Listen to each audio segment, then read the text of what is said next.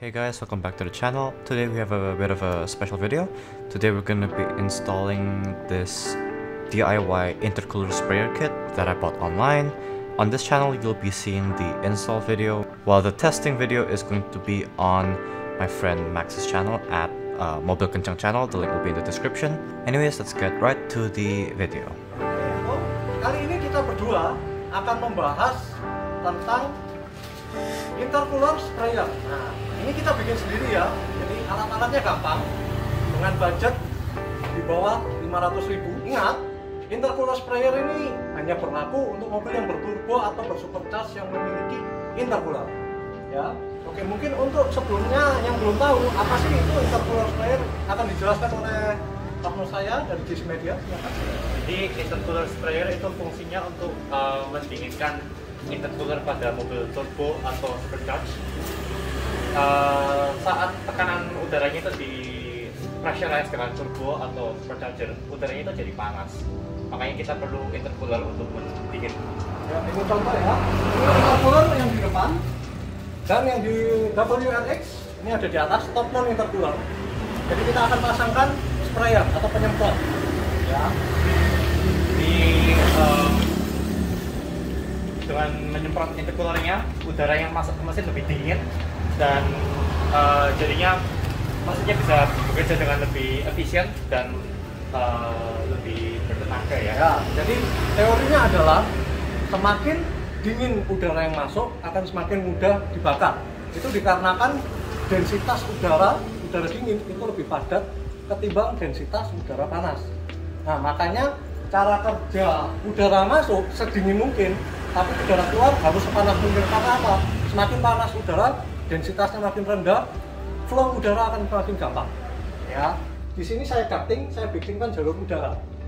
Ya, jadi tujuannya udara yang lebih fresh masuk ke dalam mesin dibaca oleh airflow sensor diputar di turbo nanti namanya dikasih tekanan dikasih pressurize ya bus sampai satu bar ini satu setengah bar semakin tinggi busnya akan menghasilkan udara panas yang lebih tinggi ya itulah mengapa orang yang mobil balap atau high performance car intercoolernya makin gede makin baik tapi ingat makin gede intercooler turbolet akan semakin besar. Nah, makanya ini adalah cara alternatif untuk memberikan udara yang lebih dingin untuk masuk ke dalam mesin sehingga nanti uh, kita bisa pantau lewat intake air, uh, intake temperatur ya. Nah, di situ nanti bisa dites. Ya. Nanti kita juga akan melakukan pengetesan di mobil kenceng channel menggunakan dragi. Ya, yuk kita langsung aja kita DIY. So like I said, the part install will be on this channel, whereas the testing will be on my friend's channel. Link will be in the description. Anyways, let's get right to the install.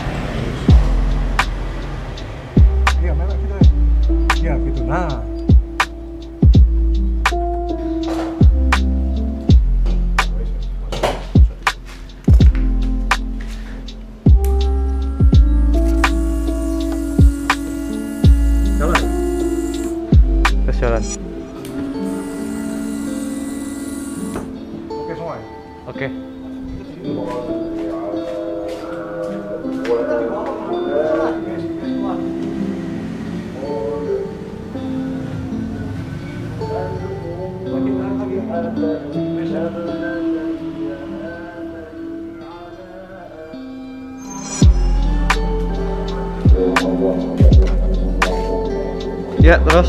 Oke. Ya.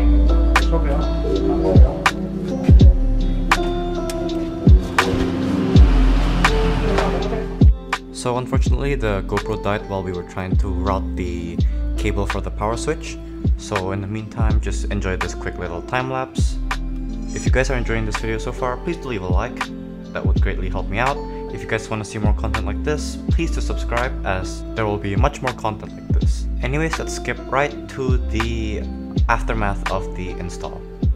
Okay, so now we have the intercooler sprayers uh, installed and there is also an additional um, oil, oil cooler sprayer down there and yeah um, if you want to see the results of the sprayer uh, you can click the link in the description to see the video on Max's channel um, yeah that's about it for this video. Uh, stay tuned uh, to see the intercooler sprayer uh, working in action. I will be placing my phone like right over here so you can see the sprayer working. And yeah that's about it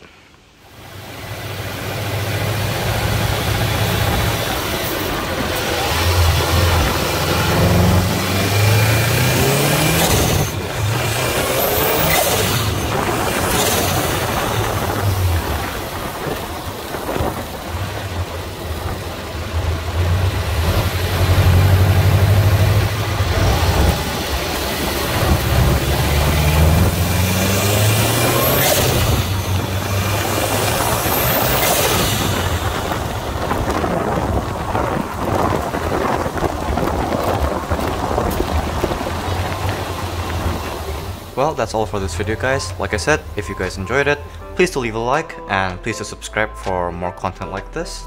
Anyways, I'll see you guys in the next video. Thanks for watching.